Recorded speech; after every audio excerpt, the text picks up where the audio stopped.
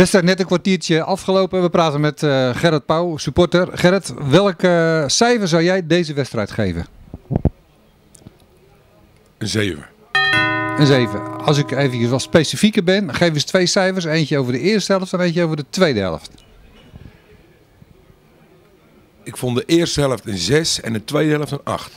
Dan kom je op die 7 uit. Uh, Eerste wedstrijd, eerste twee wedstrijden heeft uh, de trainer besloten met twee spitsen te spelen. Het systeem is nu omgegooid. Vind je een verbetering? Uh, ja, ik ben... Ik, denk zelfs dat Rijnsburgse Boys sterker is als ze 4-3-3 spelen. Over het algemeen. Alhoewel ik wel vind dat als je met een 4-4-2 speelt met Joost Leonard... vond ik tegen Spakenburg ook de, de eerste helft heel goed. Maar ik ben eigenlijk meer 4-3-3.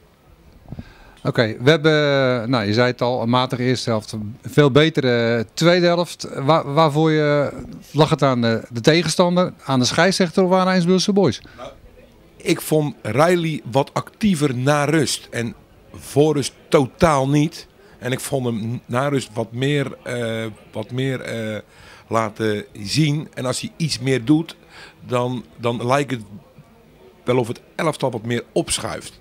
En de eerste helft, dan doet hij haast niks. En dan, en dan, en dan zie je ook, dan stoort hij niet niks. En dan loopt het elftal een meter of 10, 15 meer naar achteren. En dat is eigenlijk wel jammer, want je zag een, een klein stukje dat Danny dat eerste doelpunt maakt. Dan, dan hebben ze eigenlijk allemaal een beetje druk naar voren. En dan krijg je ook dat Danny makkelijker in de 16 komt. Hè, en dan uh, scoor je ook.